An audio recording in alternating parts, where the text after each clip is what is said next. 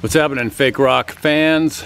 This is Dave out here in Vista, California, where we are uh, in the process of remodeling and repairing some rocks that have disintegrated and fallen apart. And uh, not an uncommon thing I see around the, San Diego County. Uh, they built them the, in the old-fashioned way, which was not so good. They stuck steel in the dirt, bent it around, put diamond lath on top, and then cement on top of that and you end up with cracks right along the perimeters, all the corners of the rocks and boulders because the steel's not encased in concrete and you end up with uh, expansion and contraction, moisture, and a lot of the uh, steel just rusts away to nothing as uh, you can see in some of their photos and stuff that I put out there. So pretty crazy job here actually. Uh, pretty good size. This is a really nice feature that initially it was very large scale they got the whole perimeter of the pool pretty much coming around. It's a nice design too, I like it. It's got architectural shapes, corners, squares, and then it has an organic uh, backside where they added the water feature itself. So what we're doing is we're replacing all these cavities with concrete. If you look inside you can see the steel just totally exposed, totally rusting. Some all these cavities down in here were all full of water where they're below water level. Another example over here, same kind of thing, just insane. Hollow, completely hollow, all the way down in there. They should have made these all solid wherever the water level was. And you can see the water line right there.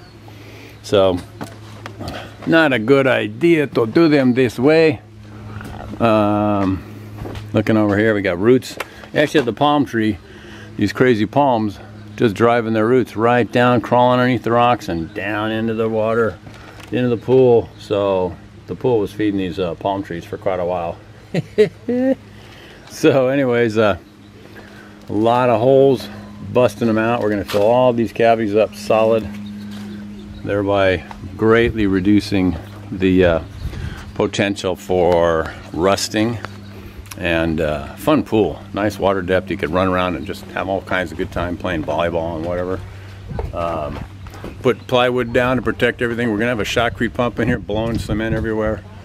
Basically filling in all these cavities. And uh, then I'm going to texture the outside to try and mimic some of these interesting crack patterns. They use a tinfoil uh, industrial uh, commercial grade tinfoil I think which is thicker, and they crinkle it up and push it in the cement. A very easy way to make some cracks in rocks. It looked pretty authentic. So, anyways, Mr. Dave here, uh, showing you the latest adventures in fake rock land.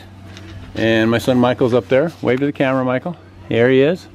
I'm torching him today out here in the warm temperatures of uh, northeast San Diego County. So, thanks for watching. Check out whatever else is out there on my uh, Facebook page. We got millions of videos on stuff uh, and uh, wherever you are, be thankful, be forgiving, be happy, and be creative. All right? Uh, we need more positive stuff out here in this crazy world that seems to be spinning out of its mind, out of the axis, uh, as it were. So, anyway, Mr. Dave out here making something else, and this is uh, signing off, and we'll see you next time. Have a good one.